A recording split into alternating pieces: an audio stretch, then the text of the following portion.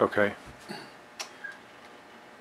All right, well today we're applying a translucent vinyl to a piece of acrylic. We've already applied half of it. We used a hinge method and so we applied one half and now we've taken the backing off of this half. We don't usually do wet installs here at Freedom Creative Solutions, but translucent vinyl seems to be a little trickier than um, like certain 3M vinyls that we deal with that just are, are no problem doing a dry install. This this will sometimes give you an issue. So to protect yourself from having any issues, we're doing a wet install.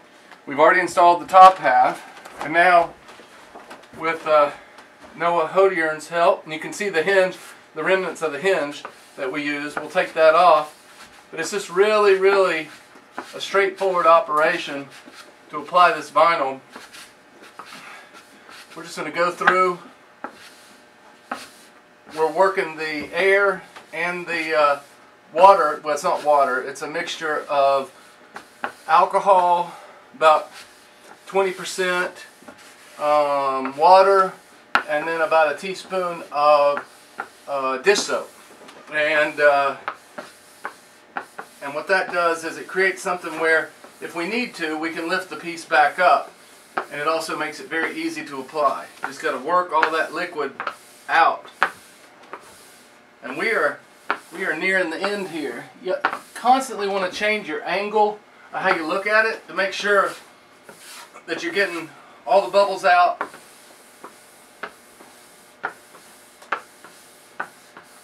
And it's going down well. Really seems like it's going down great.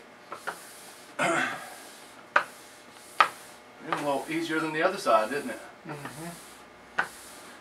It's because I did the spraying. Mm -hmm. You're a good sprayer. Good sprayer. That's my claim to fame. I can work a old 409 bottle. Master. All right. Look at that. So now, this sign is done. We'll flip it over, cut the, uh, trim it, and uh, it's ready for the client to pick up. Oh, and also we'll take this, uh, this remnants of the old hinge that we started with. We'll take that off of the graphic. Now this graphic is, uh, like I said, printed on a translucent vinyl, and then it's got a film laminate on it that'll protect it from fading and from scratches and all that stuff. Thank you very much, and come back to Freedom Creative Solutions to learn more.